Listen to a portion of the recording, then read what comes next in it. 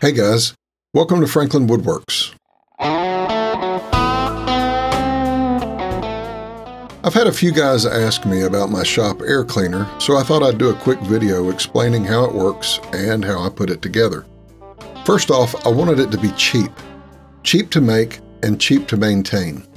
I'd seen many designs where guys use squirrel cage fans, but I couldn't find one for cheap, so I opted to go with a simple 20 inch box fan. As it turns out, not only is this a pretty effective route to go, it makes the build very simple and cheap. Since the fan is a 20 inch box, I wanted to use 20 by 20 filters. I went to Home Depot and bought a pack of the cheapest filters they had, which is a pack of four for less than $4. And the filters are about three quarters of an inch thick. The box is made of plywood and is 22 by an eighth inch square, and it's 20 inches deep. The grooves for the filters are 1 inch, and I made the grooves by just tacking in plywood strips. The groove for the fan is just wide enough to accommodate the fan, and as you can see, I took off the grills on the front and back. Access to the filters is by a door mounted in place with a piano hinge. A cabinet door magnet keeps the door closed. When I took these pictures, I did not clean out the inside.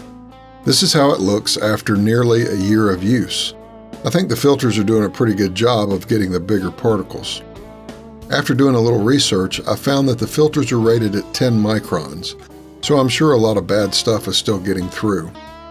As soon as I get this video posted, I plan to go to Home Depot and buy a good filter as the last filter in the chain. That way the cheap filters will get the big stuff and hopefully the expensive filter will last a lot longer. I took the switch off the fan so I could mount it on the underside of the box. This allows me to change the speeds if I need to. But I bought a cheap remote switch so I can turn it on and off from anywhere in the shop. So that's my air cleaner. I'd love for you to give the video a thumbs up and please subscribe if you haven't already. Hope you all have a good week. And there you go.